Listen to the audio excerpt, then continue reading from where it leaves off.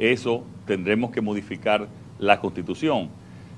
Pero que si no podemos hacerlo porque no están las condiciones dadas para modificar la constitución, nosotros nombraremos ese Ministerio Público Independiente. Ahora, yo sí creo que tiene que haber una modificación a la constitución de consenso con todos los sectores, no para cambiar los plazos de, gobierno, que desgraciadamente es lo que, es lo que ha pasado eh, cuando se modifica la constitución, sino la modificación para blindar esa constitución y que nadie pueda modificarla más para una modificación de, en términos de, reelección y que tendría que la modificación tendría que ser parte casi de un gran acuerdo nacional. O sea, blindarla para hacer la modificación para que no haya más modificaciones.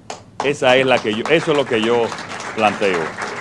Pero repito, personalmente yo no creo que eso sea posible de aquí hasta agosto y eso yo solo lo haría si es un gran consenso nacional y obviamente nunca para modificar los términos de gobierno.